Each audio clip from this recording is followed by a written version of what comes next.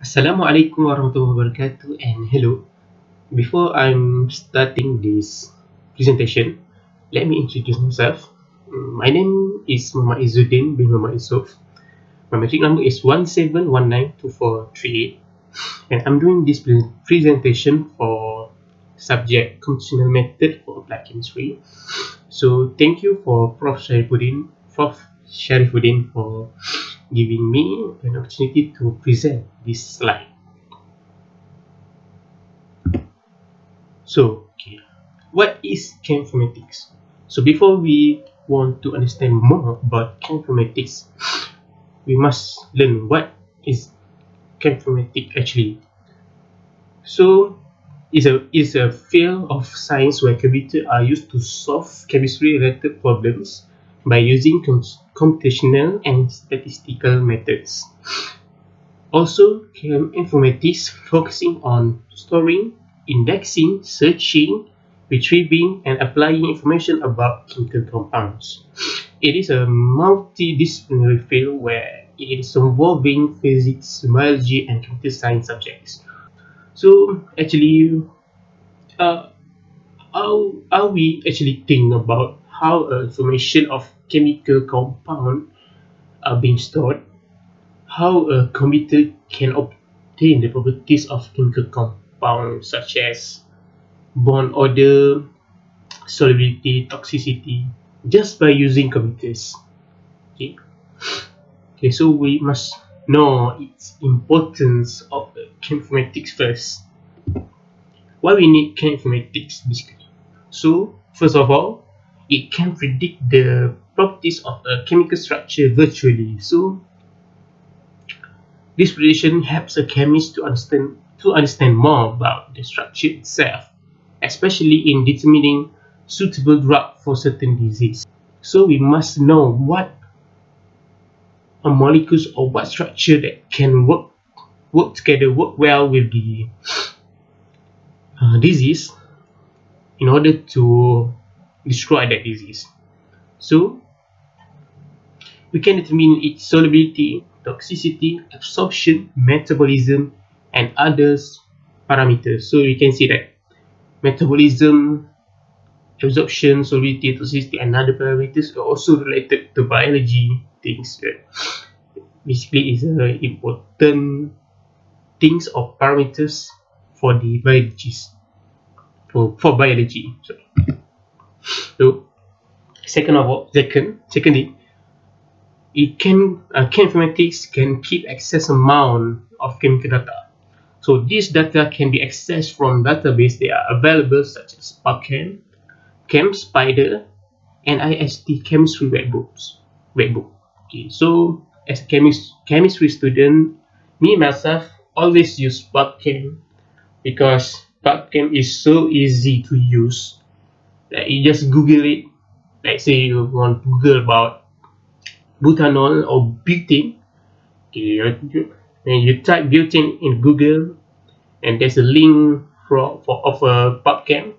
So when you click that link it gives all information just from the IUPAC name, the structure, spectra, NMR, IR spectra, its toxicity, its boiling point, anything it gives us a lot of information so as I like I said it has many information that related to, to the structure such as IUPAC names, spectra, toxicity, boiling points, 3D structure, and others. So this database it is easy to access, especially for for students, for lecturers, or even the public can use this database easy and it can be used for education until research purpose.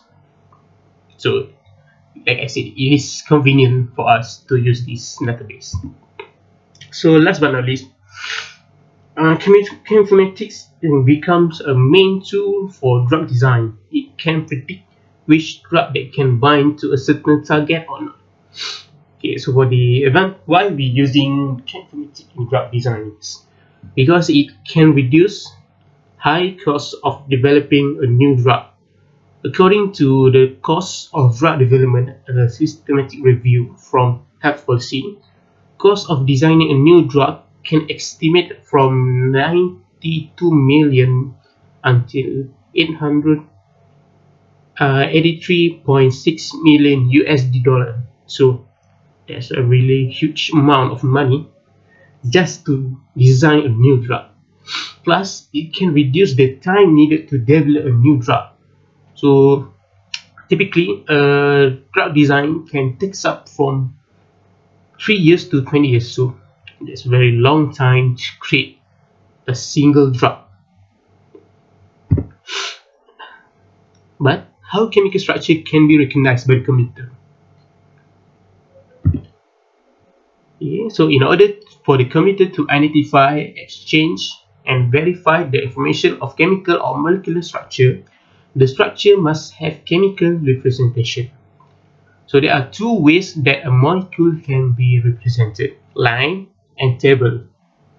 Okay, so back to the last slide, like I said, but how chemical structure can be recognized by the computer? So it can be recognized by using CML, which is I will talk last before the conclusion staging. Okay, so for line representation, there are two types of representation, which is INCHI and SMILES. For INCHI, is known as IUPAC International Chemical Identifier. So it is a string or character that capable to represent a chemical substance uniquely on computer. So a single compound will always have one identifier. It's like a tagging for a compound. So INCHI provide a precise and strong IUPAC approved structure derived tag for a chemical substance or structure. So a chemical structure can be generated via INCHI that can be obtained from PubChem or any other chemistry online database. So there is another type of INCHI representation known as INCHI key. It is more compact than INCHI, but the changes from INCHI to INCHI key is irreversible. Okay, so if so for the second is the SMILES, known as Simplified Molecular Input Line Entry System. It is a line notation that uses simple vocabulary for atoms and bond symbols, bonds, bond symbols, and a few grammar rules. It can enter and represent molecular structure and chemical reaction. So we can generate a line notation for chemical reaction, for chemical structure, and others. So we can say that it's more compact and simpler than INCHI notation. So SMILES um, different SMILES notation for one compound because the proprietary of SMILES notation that led that led to different usage of generation algorithms. So this is an example for SMILES notation. So for the like uh, we have ethane C2H4 the hydrogen is not included because it can detect the C that have actually it has hydrogen around it.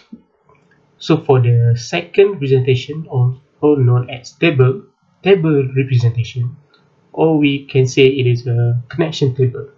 This representation was developed by Kelvin Morse, an American computer scientist. You can see at the right side, this is his image so advantage of connection table, you can keep a lot of chemicals and chemical information in one place. So people that does not have a lot of chemistry training can create and work with this kind of representation. So let's say we want to keep this data on virtually. We can use someone that not in chemistry field. They can keep this thing online and create a database out of it. So for the connection tables, we can determine its bond order, bond angles, atom coordinates, and other parameters. So this is the example of the connection table. So this tool, this picture is more simplified ones, which is it's more easier to look at it so it so for the table connection it consists of two sections which is atom table and bond table. From the bond table like I said it can be in one order. So connection table are not necessarily unique. It can have different table with same structure. For hydrogen it cannot it can be shown or not depends on the on the chemist itself. So it can be used for this representation can be used for stereochemical compounds aromatic compounds and other type of compounds. Okay. So but how a computer can identify these molecules this chemical structure? So uh, a team of chemists or scientists which is uh, this is of Peter Ross, Henry Stephen Rzepa, and others, they have been working over a decade to create this markup language known as uh, CML, Chemical Markup Language. Basically, it's a, an, an extension of XML, which is Extensible Markup Language basically we want to help chemists to and to index or storing their that uh, stru chemical structure and information about it in computers so it helps for someone to search about chemical molecule and its properties in web internet we call as internet so cml solves the problem that html hypertext markup language face when HTML cannot detect certain molecules such as bromine. Basically, when, when back at the 90s or the early 20s, we can say that most of the web pages they are using HTML as their markup language. So how how can HTML cannot detect bromine atom as a molecule, but instead it detects as Bravo so we must know that HTML uses a set of commands called tags where it is being used to define the, the elements in the web page. So let's say we have browsing action. Okay. We must include a tag or like rules.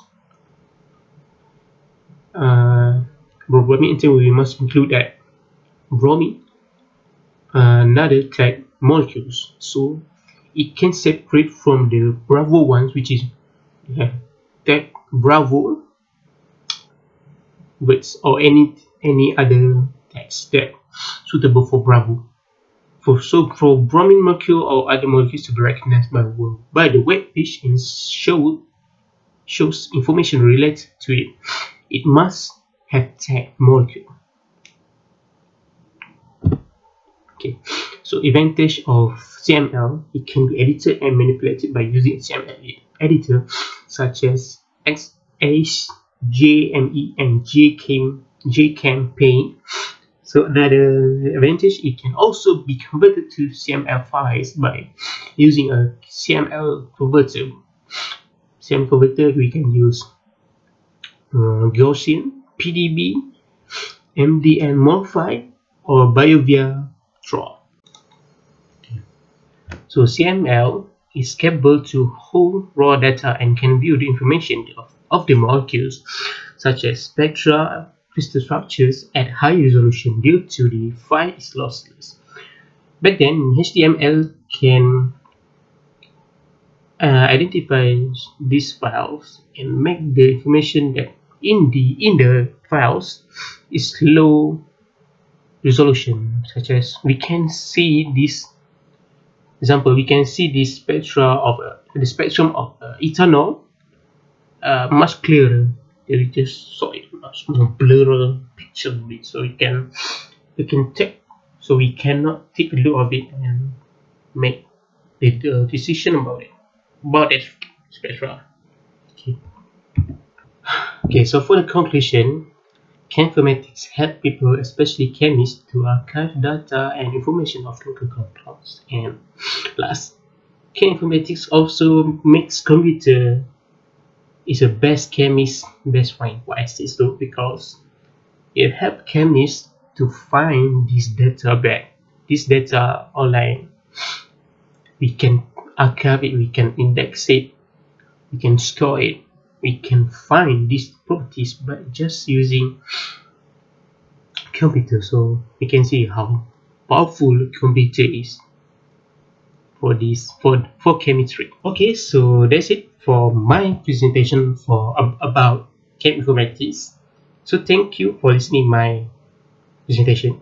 So that if there is any comments about it just let me know. Inshallah i will improve improve more